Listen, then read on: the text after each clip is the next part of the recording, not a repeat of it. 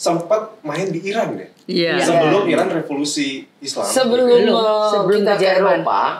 Kesat- kita main di Monte Carlo Night Club, apa, apa kabaret.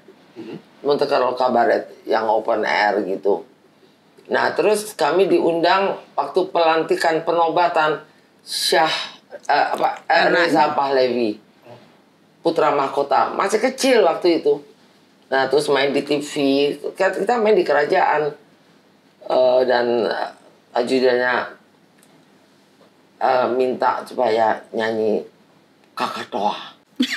Karena kita siangnya main burung kakak tua kan di TV eh, TV mer- mereka. Mbak Titi sempat kesetrum.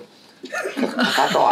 Jadi Iya. di luar situ kita lihat orang-orang pulang tuh ada yang gini kakak tua